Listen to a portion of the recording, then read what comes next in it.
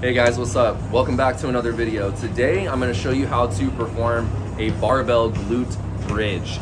This is an amazing exercise if you're trying to build that peach booty. So ladies, this one is for you, but also gentlemen, for you, this is a great basic exercise to learn the fundamentals of what a hip hinging movement is. Hip hinging is important because you've got to learn how to hip hinge in order to squat properly as well. So this is a great exercise. First thing we'll do is start with the setup. So the first thing is the equipment. You want to use a glute bridge pad. If you don't have one at your gym, a normal bench will be completely fine. You just want to sit down close to the bench with your shoulder blades on the pad. So as I mentioned, we're sitting down. Our back is completely against the pad. We're going to lean back and our shoulder blades will be what goes against the pad. Then you want to roll the bar onto your abdomen. After that, we set the feet.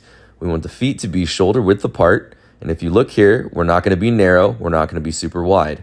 Again, shoulder width apart or just slightly outside of your shoulders. The next thing is after your feet are shoulder width, you want to pull your heels towards your butt. So pull your heels towards your butt, lean back against the pad.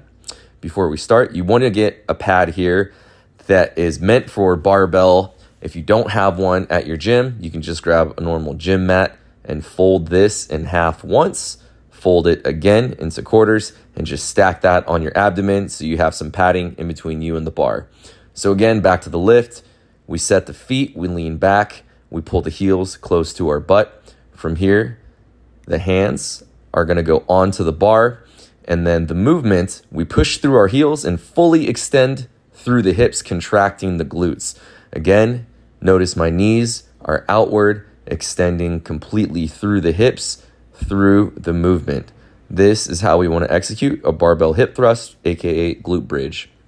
One fault that I see commonly do not let your knees knock or come together. Uh, I try to purposely make it look weird here, but you get the point. Do not bring them in close together. Leave them out. Leave your knees wide contract the glutes. This gives you power to contract through the movement.